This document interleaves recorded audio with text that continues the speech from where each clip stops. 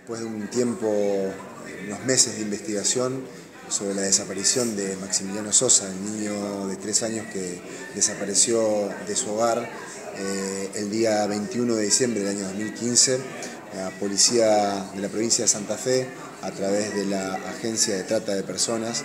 eh, con la conducción desde el Ministerio Público de la Acusación de los fiscales, los doctores eh, Vigo y Fisore, vienen llevando adelante distintas tareas investigativas que resultaron en la posibilidad de desarrollar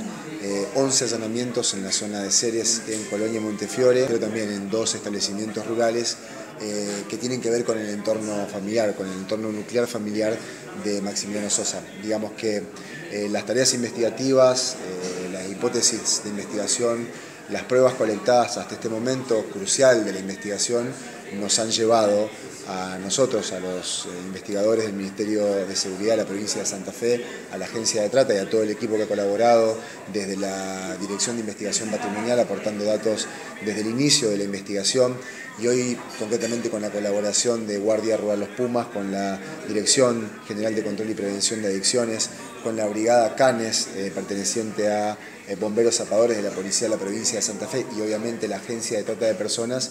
con la conducción de los fiscales que ya mencioné, el doctor, el doctor Vigo y la doctora Fisore, eh, realizamos estos 11 allanamientos que son, como decíamos, eh, parte fundamental, parte crucial de una investigación que lleva varios meses y que bueno, tiende a que encontremos con vida a Maximiliano Sosa. Más de 40 vehículos, más de 70 personas de las distintas fuerzas de seguridad, todo este operativo desplegado que duró bueno, desde el momento de la concentración eh, a las 2 de la mañana en la localidad de Arrufó hasta hace muy poco tiempo, 6-7 de la tarde que hemos terminado de realizar los últimos rastrillajes con la brigada de Canes y los rastrillajes pedestres que realizamos en cada una de las moradas que, y los inmuebles rurales que se allanaron. Estos allanamientos se realizaron teniendo en vista el núcleo familiar, los eh, domicilios de viviendas, moradas que tienen que ver con eh, la familia política o la familia de sangre eh, de Maximiliano Sosa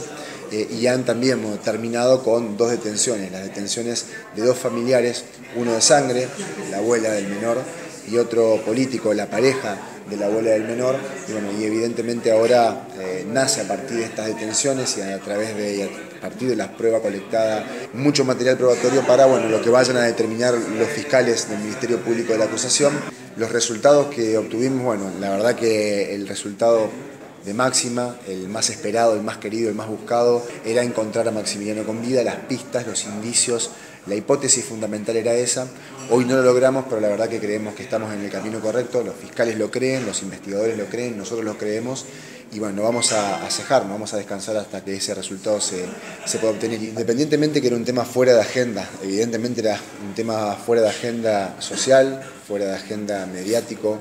que se sostuvo fuertemente, profundamente, profesionalmente, pero también humanamente, desde el Ministerio de Seguridad, desde el Ministerio Público de la Acusación, desde el grupo de investigadores, de todo este equipo que se ha conformado para poder encontrar a Maximiliano con vida. Digo, se sostuvo hasta tal punto que en silencio, y cuando creo que muchos pensaban que ya nadie buscaba a Maxi, ni con vida ni sin vida, que nadie lo buscaba, nosotros, el Estado, ¿no? sus organismos, lo seguían buscando. Y ese trabajo sigiloso, en silencio, que ha contado con la conducción de la agencia de trata, pero con la participación de todas las áreas que ya mencionamos, tanto civiles como policiales de investigación de nuestro ministerio,